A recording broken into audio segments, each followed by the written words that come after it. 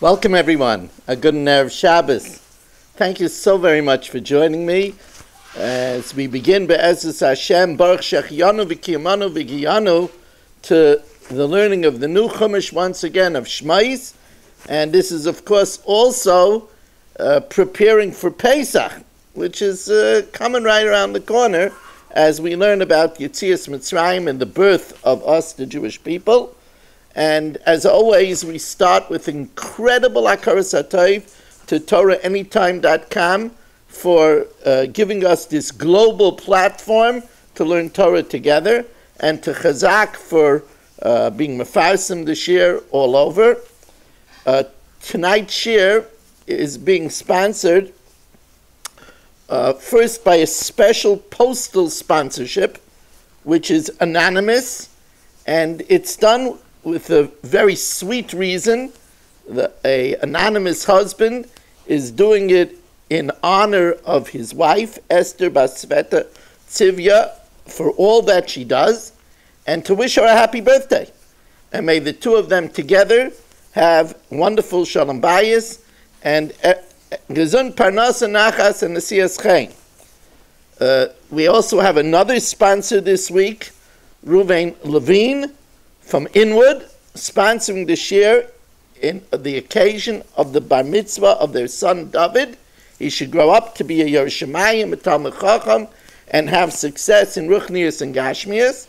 And, very nice thing, Ruvain said he's a good friend of my son, Rav Nechemia Weiss, who's a Rebbe by, a crackerjack Rebbe by Rabbi Bender. So he's also doing it in appreciation of Nehemiah and their friendship. Well, what could be better than that? Uh, and let me mention that uh, to sponsor this year, we don't have a sponsor for next week. Sponsoring this year gives a person uh, a schus in a share that reaches uh, hundreds and hundreds of hundreds of people. Uh, I'm not just saying that, I don't like to say how many, but I've seen the statistics of TorahAnytime.com and uh, it's uh, you, you, you could be assured that it's a ballroom full of people, and uh, it's uh, all over the world, and that's just on TorahAnytime.com. The show is also aired on Kol uh, on Facebook, uh, eventually on Torah Communications Network, and also to my digital subscribers. as I said, there are people that say they would love to have the share earlier during the week, so I record it uh, also on a digital recorder earlier in the week. So therefore, I need the subscribers earlier in the week. Uh, I mean, I need the, the sponsors. If you would like to sponsor, it's 718 916 3100. 718 916 3100. RMMWSI at AOL.com. Rabbi Moshe Weiss, Staten Island at AOL.com, so you could text or email or even call. not doing the share, please. And again, that number is 718 916 3100. Uh, I thank the sponsors that helped me in my efforts in Harbatas Taira. And if you want to become from those that get the email of the share earlier in the week, it's $26 a month. And the day I do the share, I send it out to the people uh, earlier in the week. Uh, Vatomarna ish mitzri. Uh, the daughters of Yisro, of Reuel, he had seven names, uh, told their father that an Egyptian man saved us from the shepherds. Now, why did they refer to Moshe Rabbeinu as an Ish Mitzri? So the simple explanation is, is that Moshe Rabbeinu disguised himself as an Egyptian because he was fleeing from Paro. He was a wanted Ivri, so he was fleeing from Paro, so he disguised himself as an Egyptian that he shouldn't be recognized as a wanted man. Interpol was already after him, so he, he disguised himself, and therefore, since he was in Egyptian apparel, they said an Ish Mitzri. As a matter of fact, most of the Mepharshim say that that which it says that we didn't change our Jewish clothing, like we say in, in the uh, Haggadah, right, that we were distinguished even in Egypt, is from here, because normally they were dressed as Ivrim, even when they were in slavery. Now it's interesting. There is a medrash over here where uh, Moshe Rabbeinu says to Hashem after Eschanan el Hashem when he was unsuccessful in pleading to enter into Eretz Yisrael. So Moshe Rabbeinu said, Hashem, let me at least be like Yosef. He wasn't zeichet to die in Eretz Yisrael, but he was buried in Eretz Yisrael. So let them at least take my body into Eretz Yisrael. So Hashem said, no, because when the daughters of Yisro described you as an Ish Mitzri, you didn't protest. And since you didn't protest and say, no, no, don't call me an Ish Mitzri, I'm a Jew, therefore you're not Zoichet to be buried in Eretz Yisrael. It's a very powerful medrash. Because this means that Hashem expects us to defend our Jewish identity. We should never refer to ourselves as an American Jew. Jewish American, maybe, but not an American Jew. We're not an American first. He, he, he should protest when he was referred to as an Ish Mitzri. But there's even a more uh, practical side to this lesson. And that is that, you know, there are some people that still till today try to work without a yarmulke. Now, of course, th- there are times, as Ramosha writes, where there's a heter for it. But we should be very proud that we're Jewish. And living in a society where people walk around with purple hair and nose rings and, and, and uh, uh, studs in their mouth, right? We should be able to wear a yarmulke with pride. Because when a, we see that it's important to be proud of our Jewish identity. Moshe Rabbeinu wasn't buried in Eretz Yisrael because he didn't protest when he was called an Ish Mitzri. Now, there's another very important lesson over here, and that is a person's responsibility is very heavy. We're not only liable for what we say, we're also liable if we don't protest when we hear something incorrect. I mean, we find the very, very severe punishment of Yosef that Yosef passed away 10 years earlier because when the Shvatim talked about Yaakov, they said five times, Avdecha Avi, your servant, our father. And he heard it five times from them and five times from the interpreter, and therefore he lost for each time a year because they referred to his father as Avdecha. Yosef didn't say anything. Of course, he was keeping up the masquerade that he wasn't their brother, so it wasn't easy for him to protest. But even so, he's held liable to the point of losing life because he didn't protest in hearing something incorrect. Now that means, let me, let me make this practical to your ears. That means that if you're sitting and you're listening to a conversation and somebody says about your father or your mother, yeah, they're not such practical people. Or, you know, they're getting older already, you know. And you don't protest. You're held liable for not protesting the honor of your parents. Now that's even if you keep quiet. Yosef just kept quiet. Of course, if you nod your head in acquiescence, yeah, yeah, yeah, and again, very alta, you know, that's that's even more severe.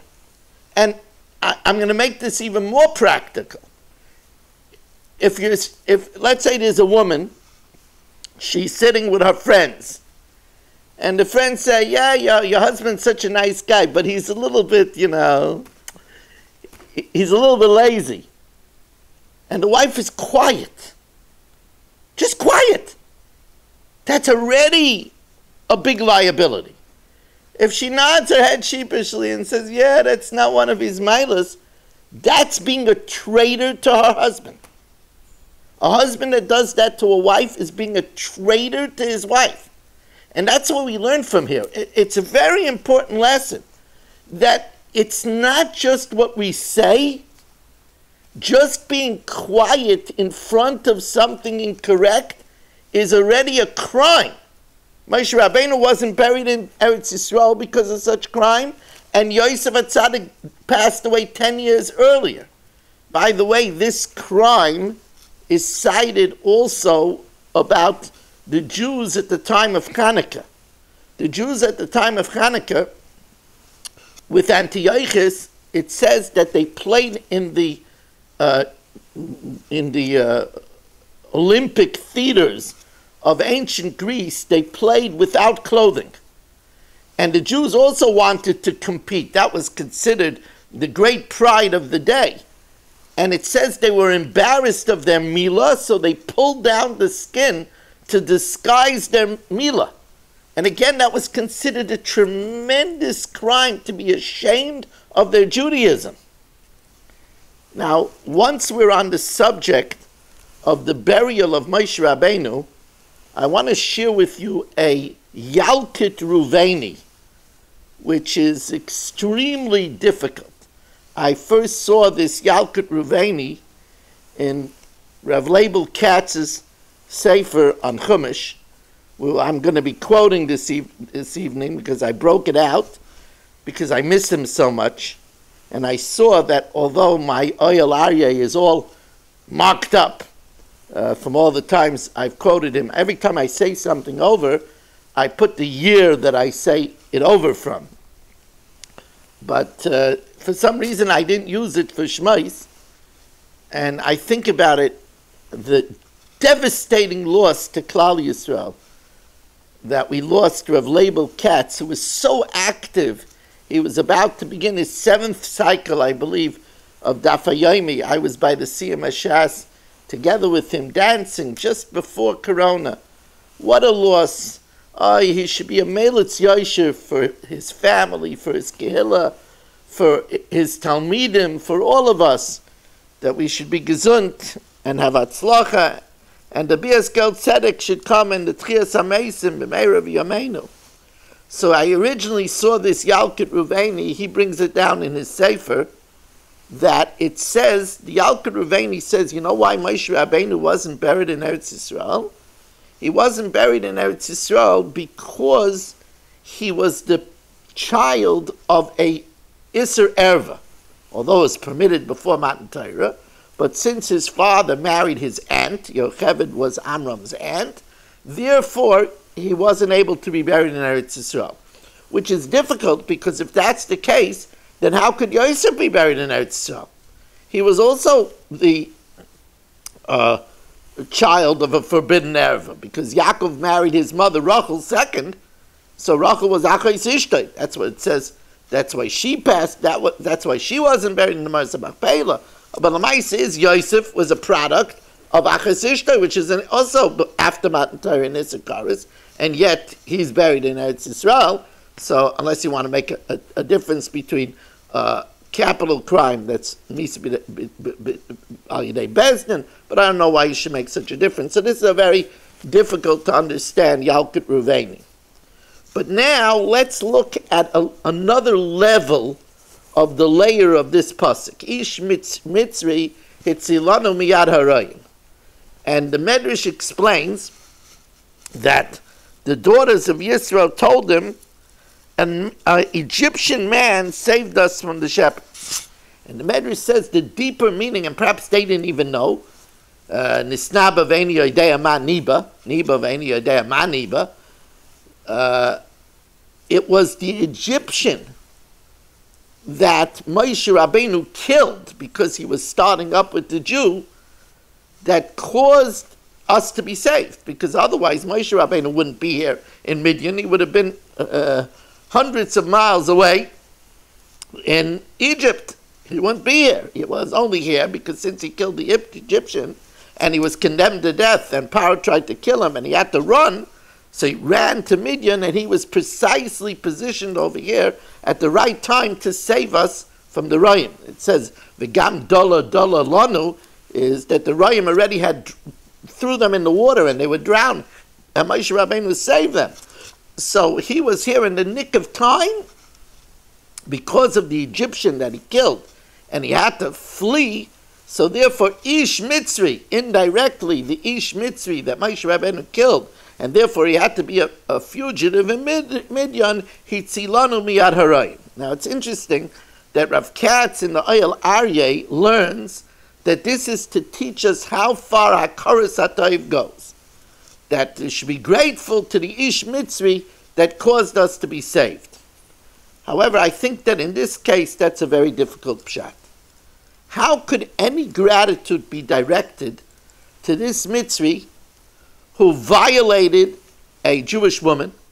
It says that Shlomas Bas Divri uh, offered him shalom, and he came to her in the night. He, first, he lured the husband uh, for work out of the house. He came to her, she didn't know, and he violated her and now, when the husband found out, so the, he was beating the husband, and uh, the best defense is offense. And Moshe Rabbeinu saw it and killed him. And some say, some Rishonim say that that's why he killed him. He killed him because he violated a Jewish woman. So here's a man who violated an Ashes Ish, then started beating up the husband. From this forbidden union, came the Mekalel, who later on had to be executed. And uh, by the way, when it says that Moshe Rabbeinu, since he killed him with the shame Hamafirish, Halakageni Ata Aimer, so he killed with the Shem Hamafirish, so it had to be like Hashem to see that no good person would ever come out from him. And he saw that there would be no loss, no good person would come out from him. That was including the Mekalel who, who later would be executed in the, in the Midbar, who wasn't good.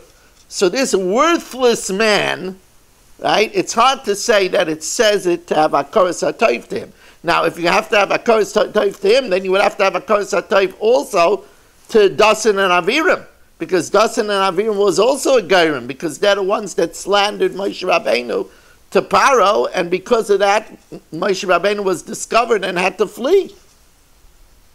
Rather, I think that there is something else going on. Now, I will tell you that I know Rav Katz is probably basing it on. There's an Or Yohel that says that Moshe Rabbeinu was afraid of Oig because Vayavoy Apolit, uh, the refugee who was Oig, came and told him about Lot being taken captive. So Avram Avinu saved him, and that saved Malchus Beis David, who came from Lot.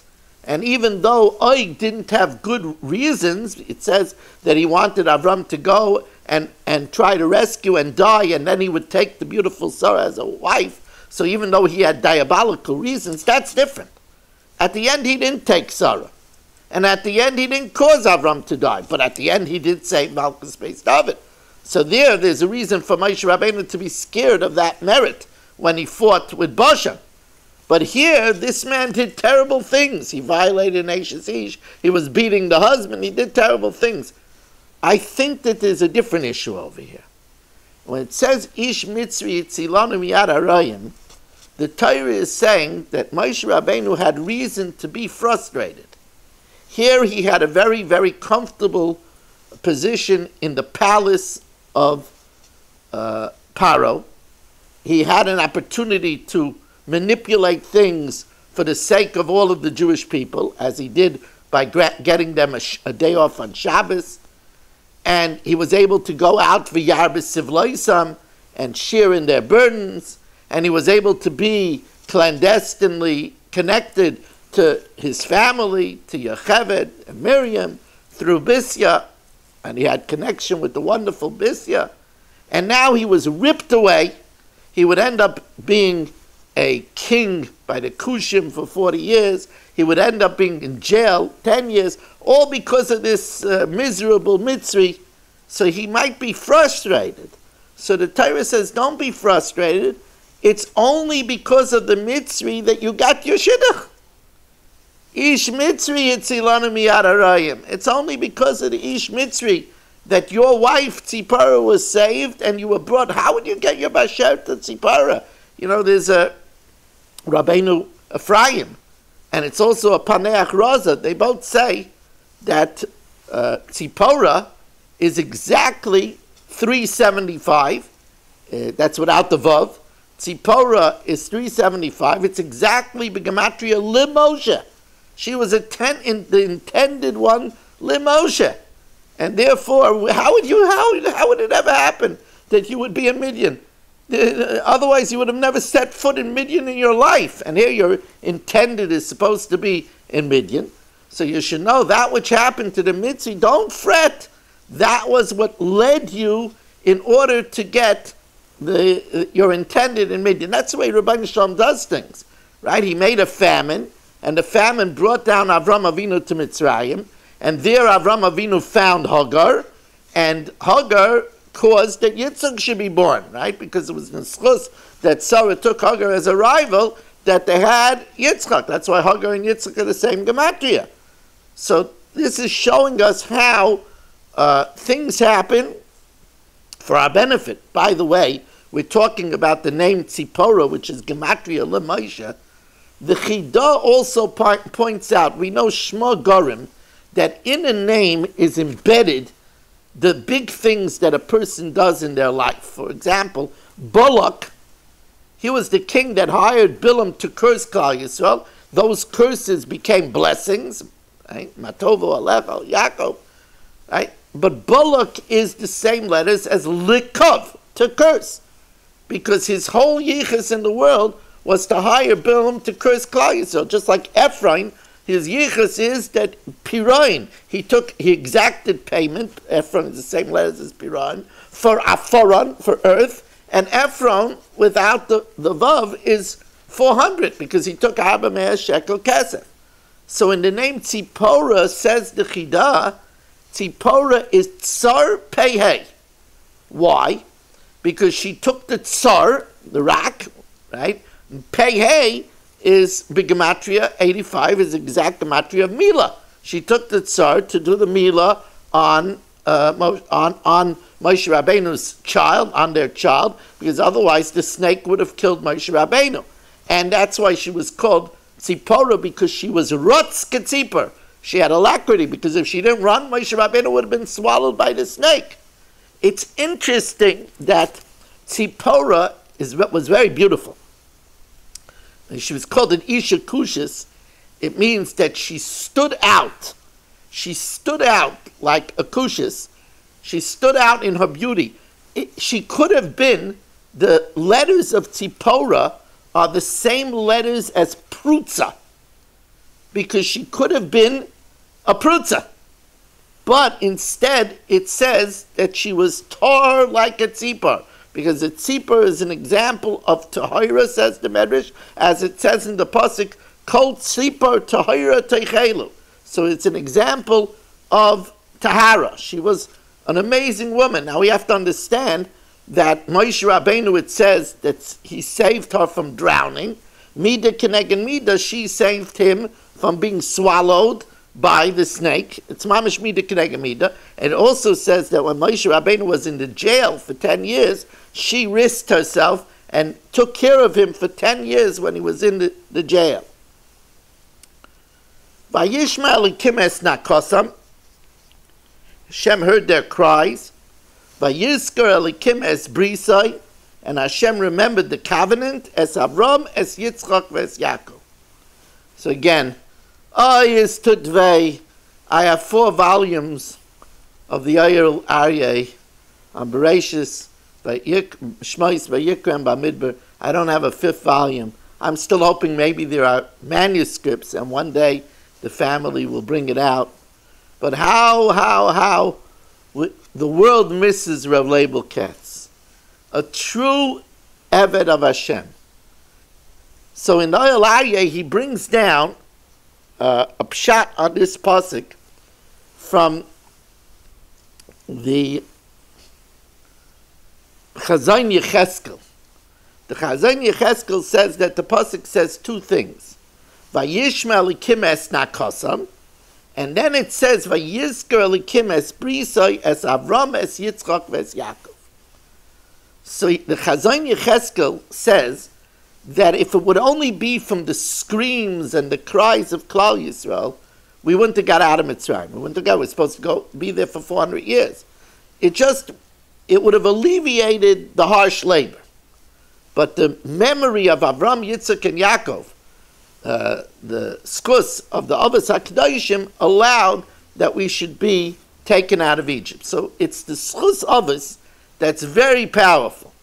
So on this uh, Chazon Yecheskel, Rav Katz adds that that's why the first bracha of Shemona Esrei is so critical. Right? There's Allah in Shulchan Aruch that if you don't have a kavanah in the first bracha of Shemona Esrei, of the bracha of, of Avos, you really should have to say Shemona Esrei over again. Just probably won't have kavanah anyway the next time, so the Ramah says we don't do it.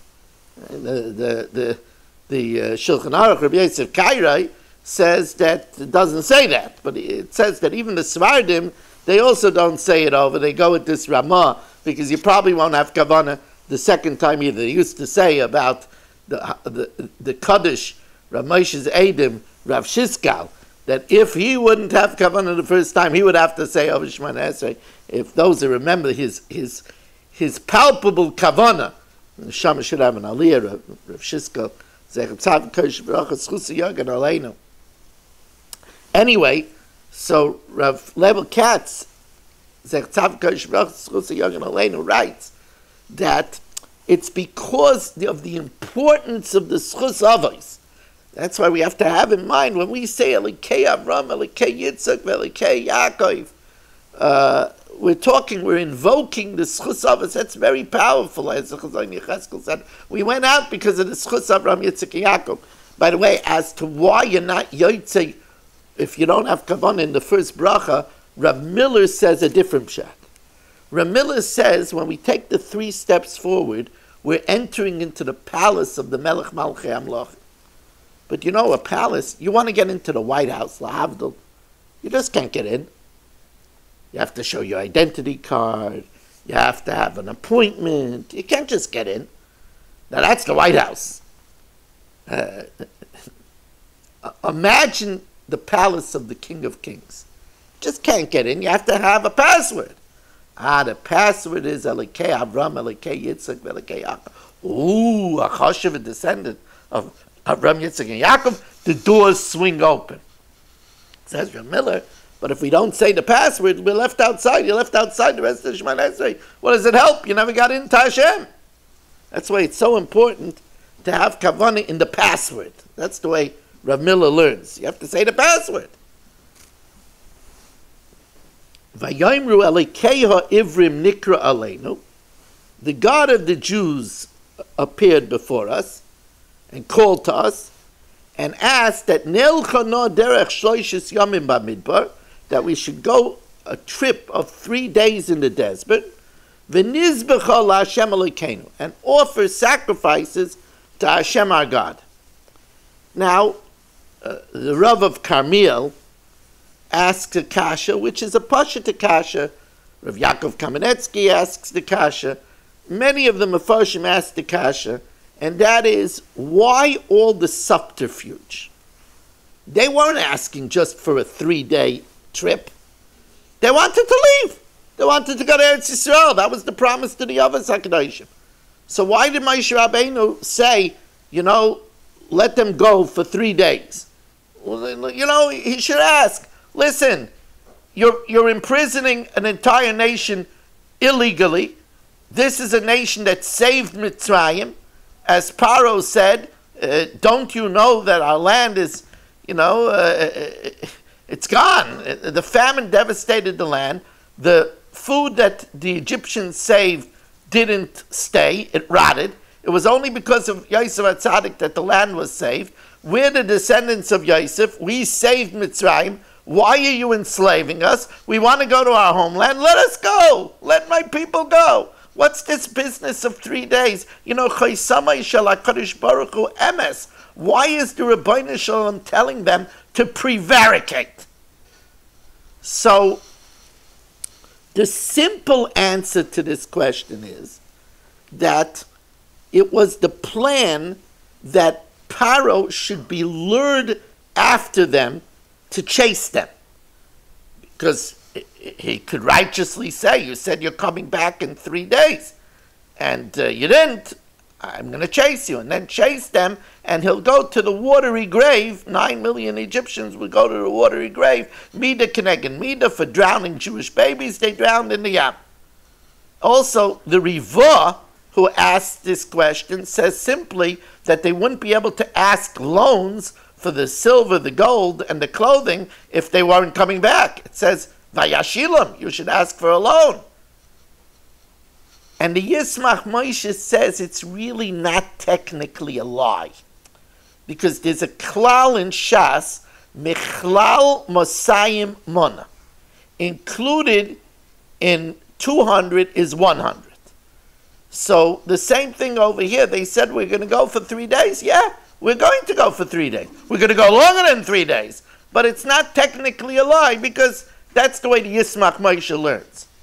However, Reb Yaakov Kamenetsky, who we know his whole life, he put so much emphasis on truth. It's so interesting that they asked my Rebbe Bramosha, Bameharachta Yomim, in what merit did you live long? So, of course, Ramosha could have said that he learned every moment of his life. I know I was in Mishamishim for 10 years. I never saw him idle. Even when Tisha B'Av fell on on Shabbos, where people are makbid Erev Shabbos not to learn after Chatzos, he was checking the galleys of his new Svarim. And he told me this is not official learning. He was checking for mistakes. He was always learning. Whether it was Mishnayos when he took off his tefillin, when it was Tanakh when he was waiting for the Kario. But, but he wanted to give people something that they could sink their teeth into. So Ramosha said, Man ganz Leben habe ich keinmal nicht getan weit zu einem Menschen. My whole life I never caused pain to another person. So they asked Reb Yaakov Kamenetsky the same question. He also lived into his 90s. So he said his whole life he didn't tell a lie, and he tried never to hurt a person's feelings. There's a story about Rabbi Yaakov. There's different versions of this story. This is one of the versions there's a story that when he was young, he was ate kes. That was the minig. That you know the yeshivas until yeshivas Chachmei Lublin, the yeshivas didn't have kitchens. So where did the bachrim eat? They were given to different families, and those families gave food to yeshiva bachrim. Uh, some families gave them, uh, you know, macaroni six days a week and other families treated uh, a yeshiva bacha like a king. I remember that when I was learning in yeshiva, there was a family that I, I didn't eat the yeshiva food so much. I was finicky. So there was a family that when I became so hungry, because I only went home once a month, became so hungry, I called them up, and I remember they used to serve me a steak meal. And it was Mechayami.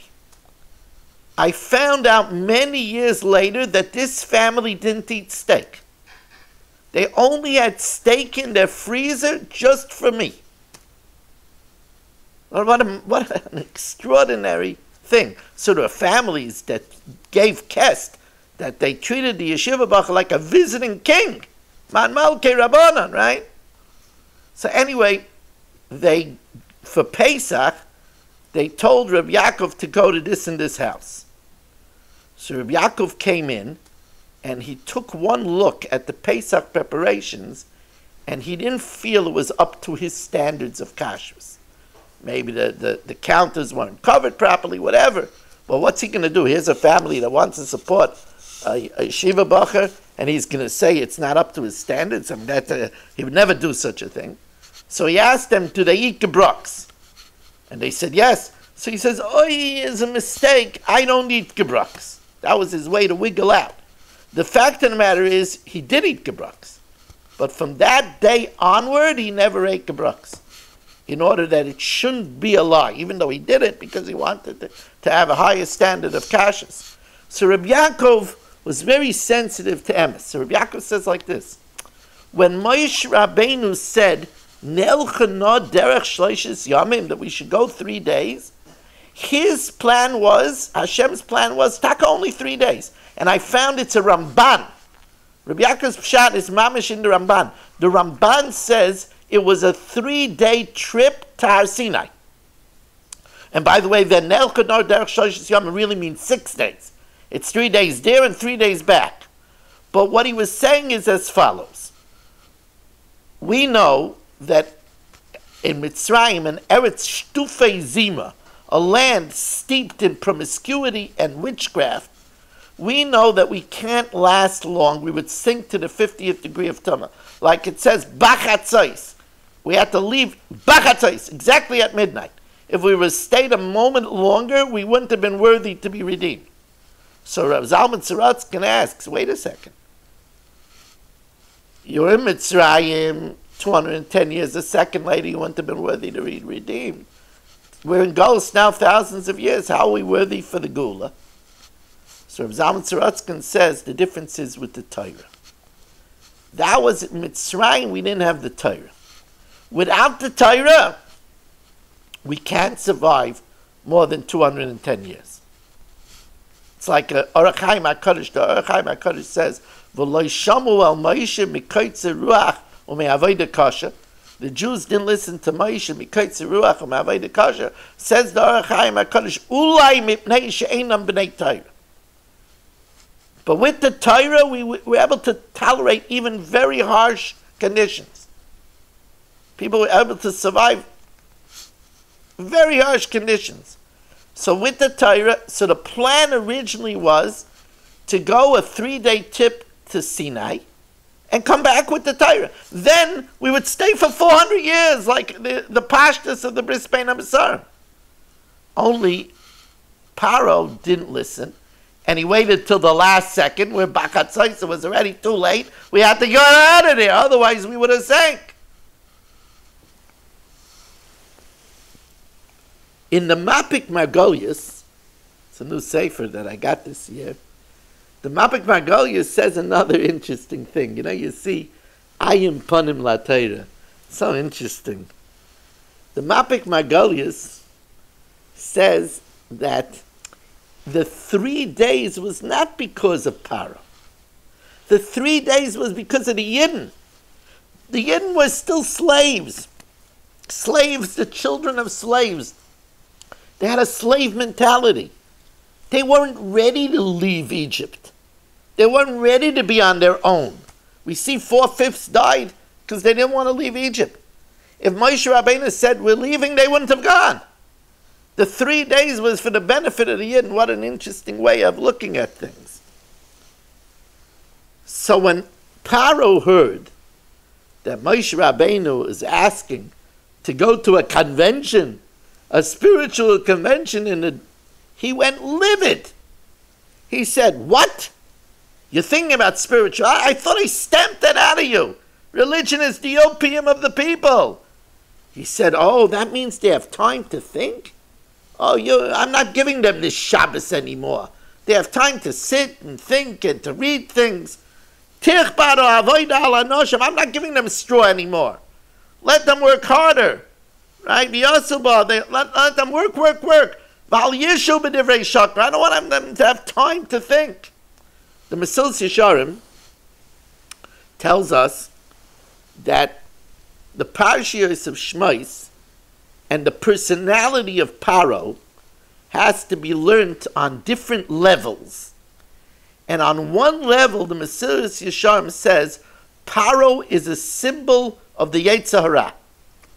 And the study of Paro is a study into the machinations, the tachbulois of the Yetzer Hara. And he says this is one of the biggest ones. And that is that the Yetzer Hara gets a person to be so busy that they don't have time to think about whether they're doing what's right, whether they're doing what's wrong, whether they're prioritizing, whether they're fulfilling their responsibility to their most important relationships, to their spouse, to their parents, to their children.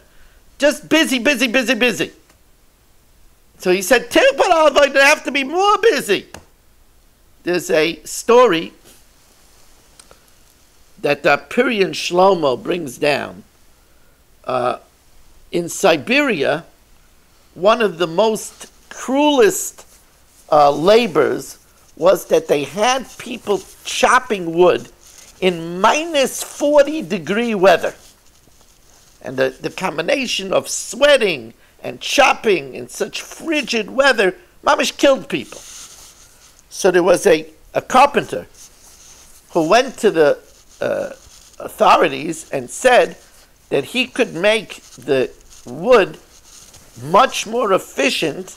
He could create a saw that could be handled with by two people that would make the job more efficient. So they said, by all means. So he uh, created such a saw, and they finished their work three hours earlier. It brought relief for two weeks. After two weeks, uh, a decree came from Moscow that they should produce double the amount of wood. So the carpenter was all uh, in, up in arms. Uh, I, I, I invented something and now you're punishing me for what we did?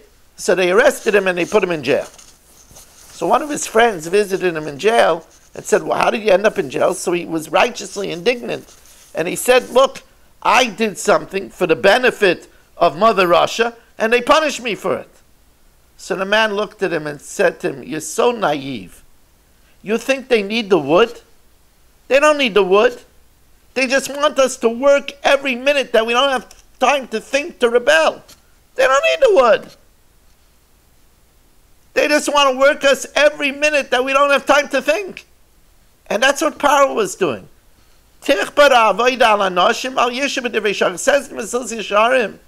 That's what the Yetzer Hara does. You know, a person, if they have time, they'll think, Am I spending enough time with my spouse? What is it like being married to me? Do, do, do I visit my parents? Do I call them? Do I spend time with my children? You know, am I am I am I learning enough? I mean, that's that's everything. You know, am I am I am I am I doing mitzvahs? Did I learn the meaning of davening? The Yitzhak doesn't want us to have time to think about this. So he keeps us busy. So he has different ways to keep us busy. One of his best ways is money. People have such a love of money that if they have more time, they want to make more money. They have more time, more money. It's not that it's enough. There's never enough. What do you mean? It's not enough. I need for a rainy day, then I need it for a snowy day, then I need a rainy day for my children, and then I need a rainy day for my grandchildren, you know, and then I want to become a multimillionaire. So money is one of the ways that the uh, is tichbara anashim that they shouldn't think. But today, he, the Yetzer Hara created a new weapon. It's called the smartphone. Because once there's a smartphone, we never have time to think. What do you mean? I, I, if I have time, I go on the phone and I scroll. And I have Instagram and I have Facebook and I have YouTube and there's always something interesting. There's always an excuse. Yeah, it's good to know this and it's good to know that. Yo, it tells it tells you I always wondered about this and I always wondered about that. Oh, and then who has time to think anymore? Today, the has many ways to accomplish this. Another way that the Yetzer Hara has is movies and television. There's, you could, there's a word called binging.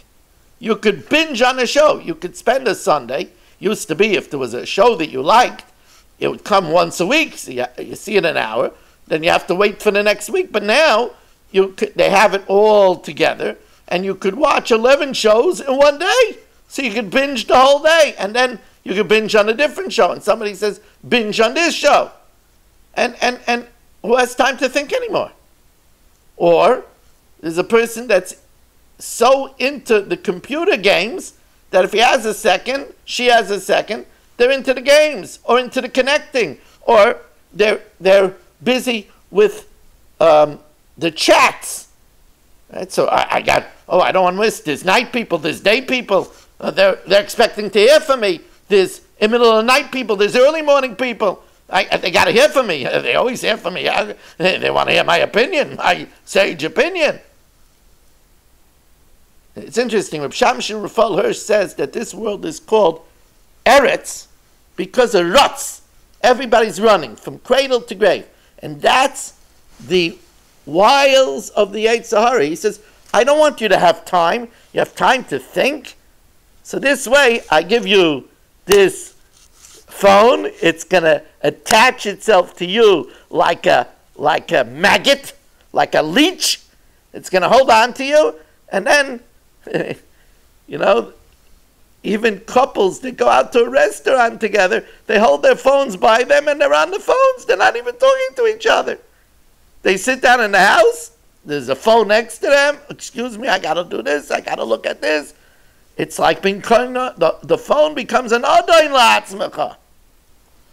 That's what Paro says. That's, that's, don't have, it says, limnos yomeinu kain hoda.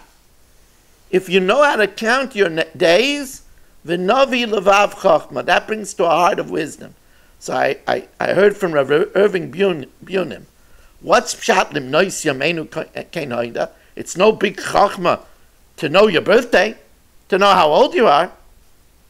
So Rav Irving Bunim says, when you see a sign on the New York Thruway or on the 17 and it says 120 miles to Binghamton. It doesn't tell you how many miles you traveled, it tells you how many miles you have left. So yeah, it says Yemeish Noiseinu Bem Shivim Shana. Uh, uh, uh, the average lifespan is 70. And if we're Zeicha to Gvurus, it's 80. So a person is 67, so he says he's 67 years old, but in Lois Yamenu Kain Haida, he has only three years left to 70. He only has 13 years left to 80. Ooh. Ooh, that shakes a person's up. That's why Limnois Yamenu Cain. Cain Bigmatri is 70. That brings to a heart of wisdom. What's Chachma? He's a Chachma Royas Anoilid. Have to plan, have to plan for the next world.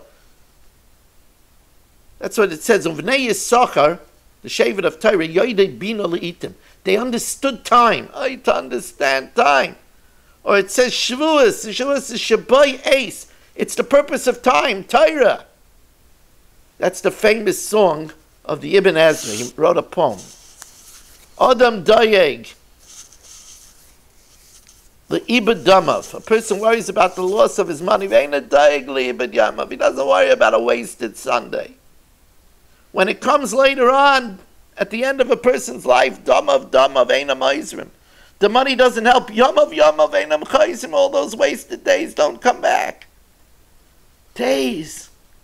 The most precious commodity is time.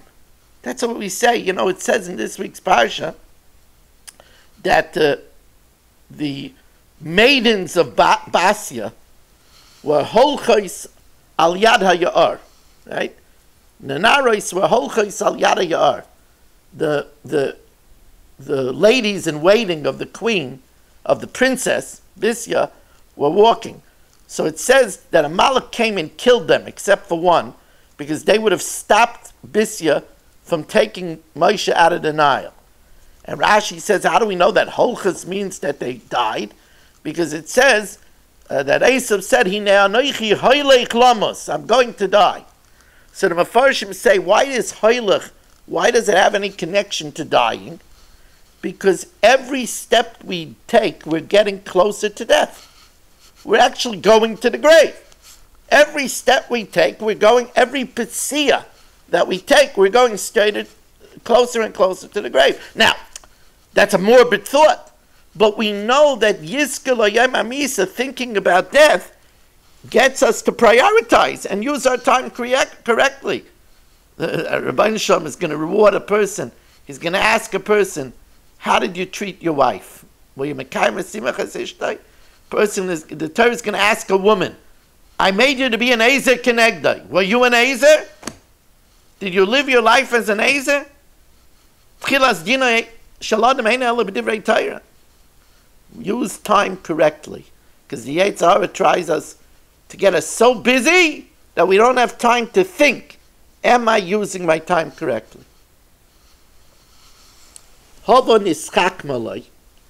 Come, let's deal wisely with him. This was the final solution against the Jews.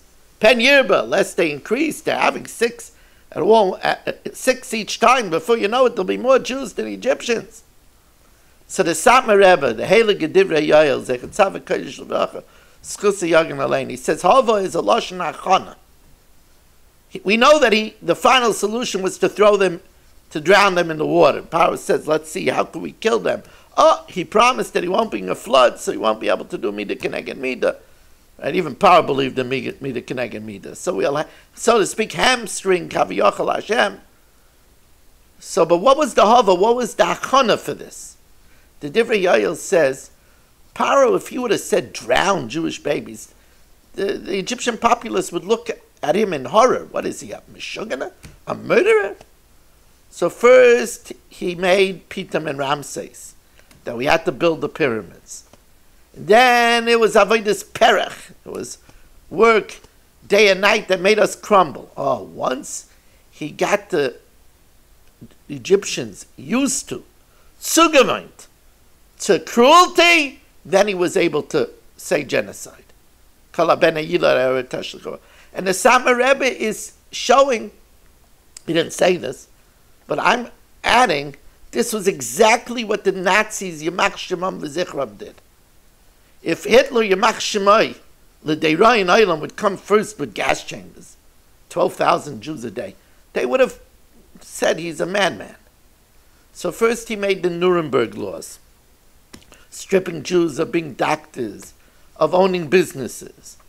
Then he made them wear stars. Then he put them in ghettos. After treating us like vermin, then he was able to say uh, uh, extermination. And then, then treating us subhuman, then he could exterminate us. It's interesting that Rav Shach explains from one Chad Bedara to another Chad Bedara. The Rav Shach says that the Achana was is first Paro had to take away the Schus. By getting everybody to work and taking them away from the Gemara, and Peter and Ram says Avodah Perech, then he was able to attack. So that's why Shevet Levi couldn't. As Briskli and Sarah, they never stopped learning. They didn't even come the first day to work. So then Shevet Levi was not, uh, uh, like Moshe Rabbeinu was told, simply say, go to your work. They weren't enslaved. So that was also the Nazis. As Ramosha Scherer writes in his Sefer, Nayim, he writes that the, uh, the, the, Jews, uh, Hitler first targeted the Rabbiner. First the Rabbiner. Because he knew that that was the koyach, the lifeblood of Klal Yisrael. Vayakutzum ipnei b'nei Yisrael and the, the Jews were disgusting. They were, they, they were nimbus to the Egyptians. We were like thorns. And we know that the Rabbi Shalom made this because otherwise they would have molested us. They, they, they had us under their control, that we, we were completely their slaves. If they would have had a, a taiva, like here, Sarah came down to Egypt, she was right away abducted. So how could it be there were millions of Jews? How could it be that the only Jewish woman ever that was molested was Shlomis Bas Divri? And it says, Mishpachas Haruveni, right? Hagodi, it says Hashem was Mishativ, the hay of his name in the beginning and the yud at the end, Shem Kot to be made, that uh, Shiftei Kot, Edus Yisrael, that, that we were not molested. Right? We we were like a, a, a, a gan nol. We were locked. We, were, we weren't molested. But how could that be? So Rabbi Nishal made it that we should be disgusting in the eyes of the Bnei Yisrael. It's interesting. The Rambam writes that the purpose of the Mila is to be matish, is to weaken the lust in a person. And the Arizal says that the Mila with the Priya uh, helps a person not be over in Isuri Aroyas. And therefore, when it came the time that the Bnei Yisrael stopped mauling themselves, they assimilated. Kishemes Yosef Pharaoh bris mila, amru. So immediately then, they had more of a desire for the Egyptians because they stopped circumcising. So therefore, the Rabbi Shalom went out and uh, made it the other way around, that the Egyptians shouldn't want us. Hopach libam lisna yamoy. Hashem changed their heart to hate us. It's interesting that there's a famous kasha. The, it says that when Yosef was the minister of agriculture, so the Jews, when the Egyptians, when they ran out of food, they went to Paro, and Paro said, "What are you coming to me? Go to Yosef." So they said, "No, Yosef wants us to mal ourselves." And we're afraid because we heard of that trick before. That's what happened to Shrem, and then, then, then Shrem got wiped out. So we're afraid. So Paro laughed at them. Tell me, you knew about the famine. Didn't you put away food? They said, yes. So what happened? Our food spoiled. So he said, your food spoiled, Yosef's didn't. You think he has to res- resort to trickery if he wants to get you? Go and do what he wants. So the Egyptians circumcised themselves. Shaila is, why did Yosef want the Egyptians to circumcise themselves? We don't ask Goyim to circumcise themselves.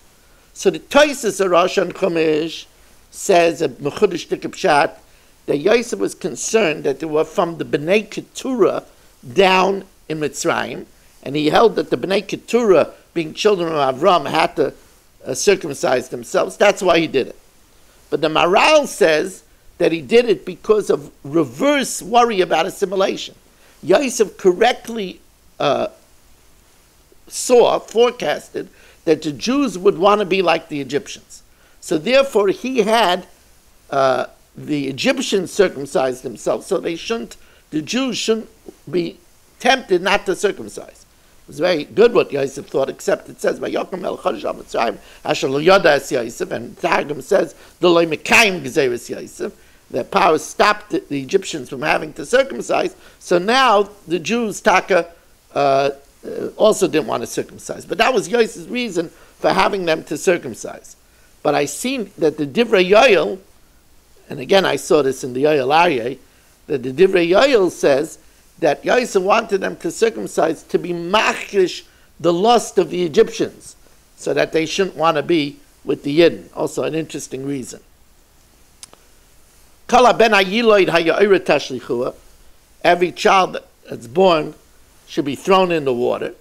The Gemara says in Saita Yud Aleph that in this final solution of Havan Ischak there were three ministers uh, Bilam, Yisra, and Eiv. Bilam said, kill them. And because of that, Bilam ben Ba'ar Hargu Bacharav, he was killed by Pinchas. Yisra ran away, and because of that, he was Zaycha that his descendants sat in the Sanhedrin, the Lishon Sagazes, and Eiv was quiet, and therefore he had terrible suffering. So, of course, the famous Kasha, this is something that everybody knows, but I want to bring out a contemporary point. The Griz asks, what did have do wrong? He knew Paro wasn't listening, because even if it was one against one, Paro also wanted to kill them. So he knew he wasn't going to listen, so he might as well be quiet and be there at least to benefit the Jews. So the Griz, Zer Tzadik, Levrachas Chus Yogan Aleinu says, but when Yidden are suffering, you can't be silent. And if you're silent to their suffering, then Chas v'shalom, you'll also suffer. And this has such a contemporary application. Yidden are suffering now. People are gasping for breath with corona sickness. People there are husband and wife, young father and mothers in bed with corona. Their children can't go to yeshiva because they're quarantined. Their children are running around in the house. Their parents can't even take care of them. There are breadwinners that died, and families are out of parnasa. Young Yesaimim. There are kehillas without rabbanim who died. There are chasidus where their rebbes had died. There are huge, huge amounts of businesses that have been wiped out, whether hotel businesses, whether restaurant, whether catering. There, there have been stores that haven't been able to sell their goods. There's so much suffering, Eretz Israel and lockdown. Its whole parnasa is tourism, uh, which has been wiped out. It's so much suffering. A person has to feel it. At least cry out to Hashem in Shmakalenu, in Rifa'enu, in Sim Shalom. If not, how can a person not be thinking about these things? Really running up against the clock over here. Um, I have two more thoughts I want to share with you. First, again, I want to thank TorahAnytime.com, Chazak. I want to thank my wonderful sponsors, this Ruvain Levine from Inwood, in honor of his son David's bar mitzvah, and our anonymous sponsor in honor of his wife Esther Bas Sveta. She should have everything good and a happy birthday. And again, to ask you, please support this year by being a sponsor.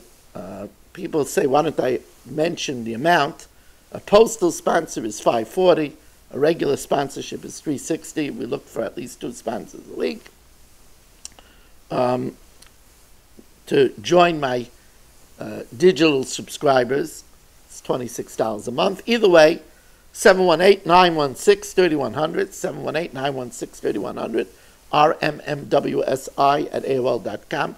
I try for my digital subscribers to record it either Monday or at the latest Tuesday, so please, if you could get this to me beforehand. Also, if you want to join my uh, Zoom Daf Yomi, we have new people joining us, Baruch Hashem, all the time.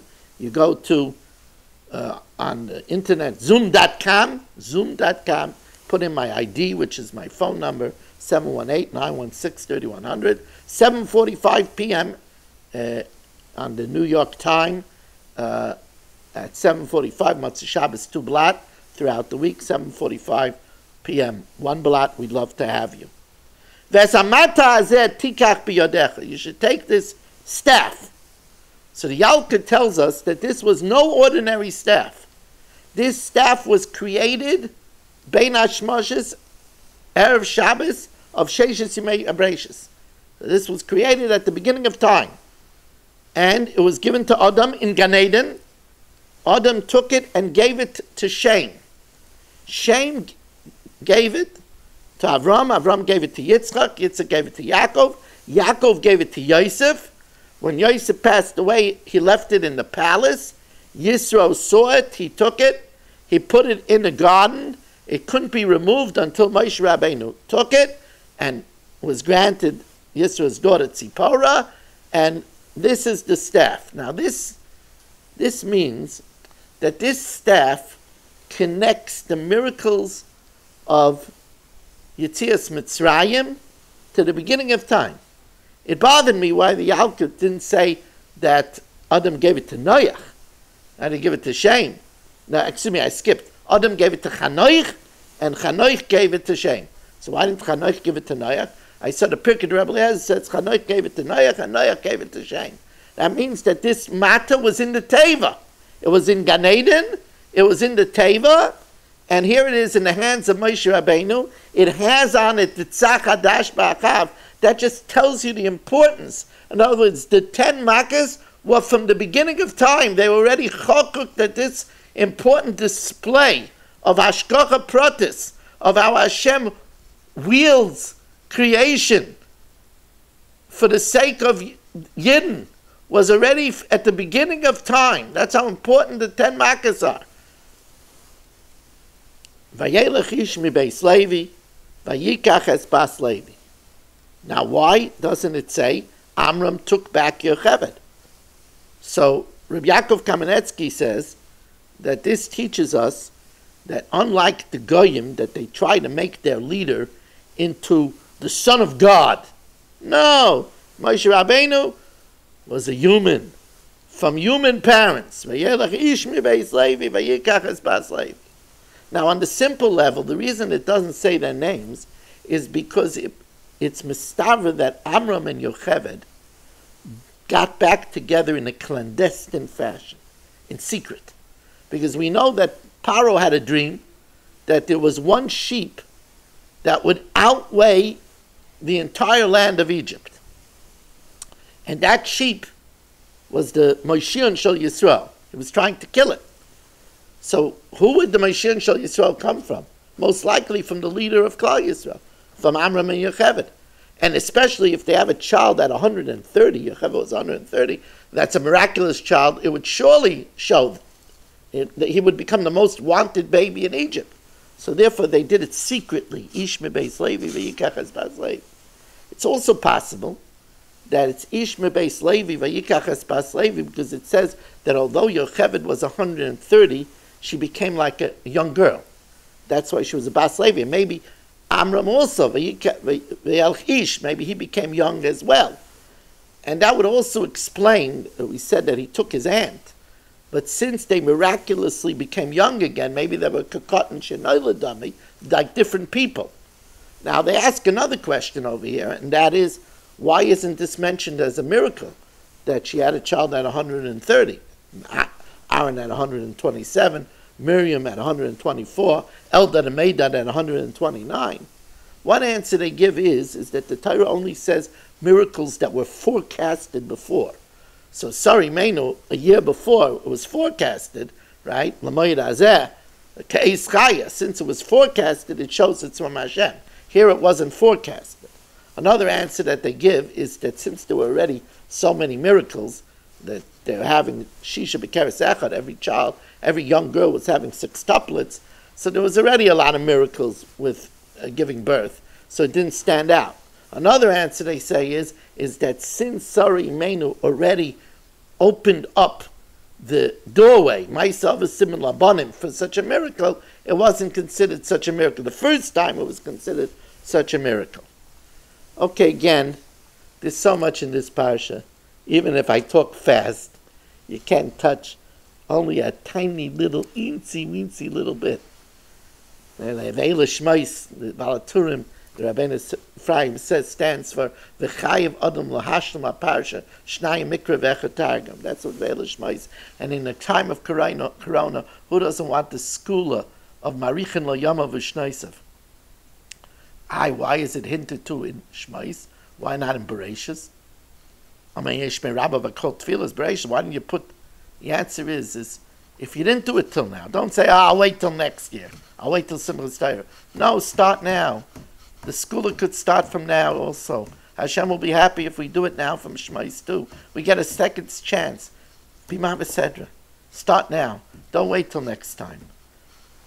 We thank you so very much for being part of this share, wherever you're listening from, wherever you're watching from, whether you're on Kol Lashon, or anytime, Facebook, Torah Communications Network, my digital subscribers, 718 916 3100. Thank you and have a wonderful Shabbos.